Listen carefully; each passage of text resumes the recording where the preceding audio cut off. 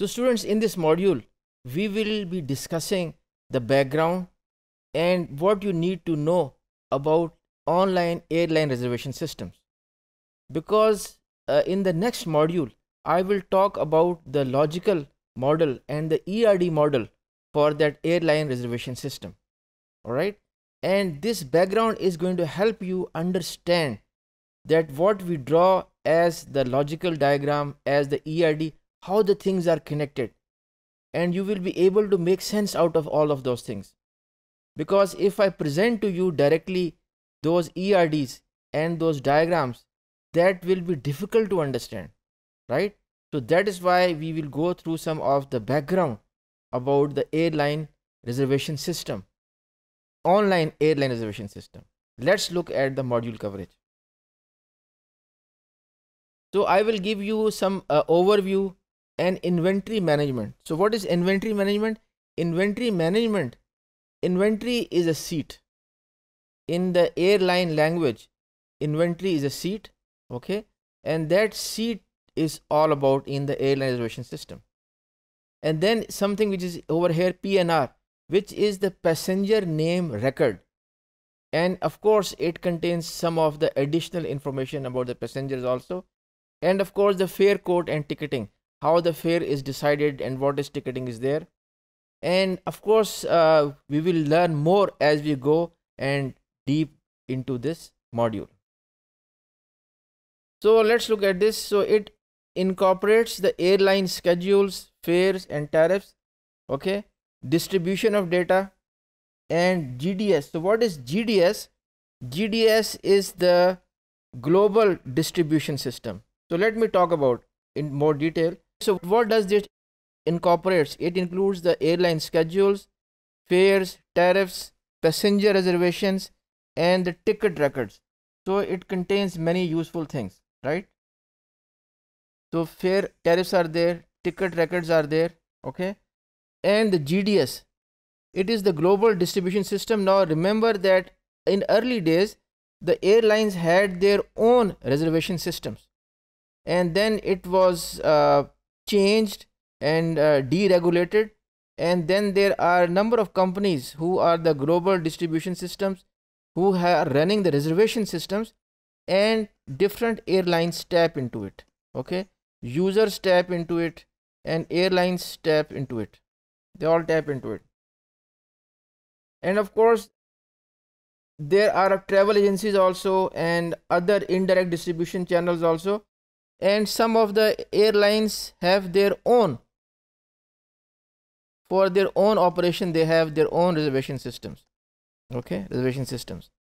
And these reservation systems can 98% are ticketless. But there are hybrid airlines also. So you can see that we have this gds over here and we have these airlines over here and we have all sorts of things. Hotels are there and car supplies are there and they are connected through this internet booking engine.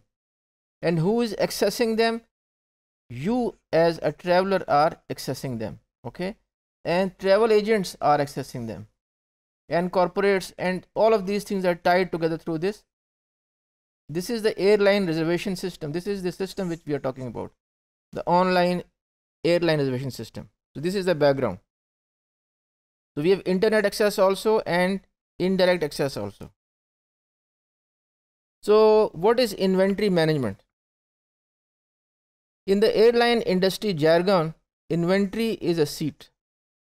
It is a seat, okay?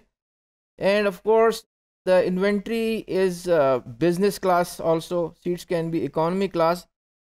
So, we have this business class also, okay? We have this economy class also, and there are actually 26 booking classes right? And they have different prices and they have different conditions and so on right? So they have different booking classes that is understood. So inventory data is imported and maintained through a scheduled distribution system over standardized in, uh, interfaces. So one of the core functions of inventory management is inventory control. And what constitutes inventory control? How many seats are available how many seats are available? Status of the seats how many seats are available? And opening closing of booking classes for sale. And in combination with fares and booking conditions. Okay? Looking at the fares and the booking conditions. So we have this opening and closing. And sale is related to the fare. And the price of each sold seat is determined based upon all those things. So there's something more also which is the yield management system okay? So this performs permanent optimization of what? Of this booking classes. Because they have to make money. They have to make money okay? And this responds to the changes in the demand and respond to the competitor pricing also. So this is automated okay? This is automated. Right? So this is how the inventory management works so users access an airline's inventory through an availability display. Okay? This is a display over here over. Okay? This is the client okay? This is the client. And it contains all the offered flights for a particular city pair with available seats in different booking classes. Okay? So cooperating flights connecting flights or legs. I will talk about this leg also. What is the meaning of the leg if the city pair is not one on which the airline offers service it may display a connection using its own flights or display. Okay?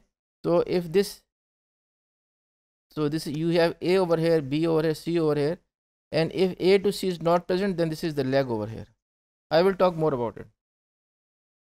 The availability of seats of other airlines is updated through standard industry interfaces so there are other airlines also okay? So this is so this is updated also. This is updated. So what is there in pnr uh, personal information meal request say for example somebody says i want veggie or whatever okay? And then there are the flight segments issue tickets etc and of course profile data to avoid data re-entry all right so in addition most systems have interfaces to crm crm which is the loyalty loyalty applications they are also there. Crm is there and reservation systems. So once a flight has departed the reservation system is updated with the list of the checked in passengers. And there are no shows also. No show. Okay? And there are go shows also. Go show. No show are the people who made the reservation but did not come and go show is the people who did not made the reservation but they came and bought the ticket and then they left. Left means that they flew. They flew okay? So these are some of the things which are happening in the background. Fare code and ticketing. So what is the fare data?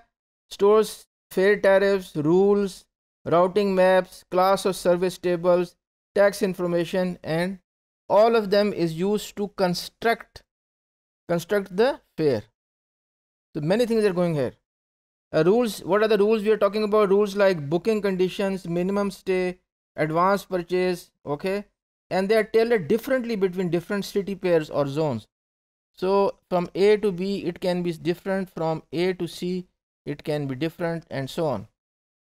So inventory control, okay, can be used to manipulate through the availability of feeds over here.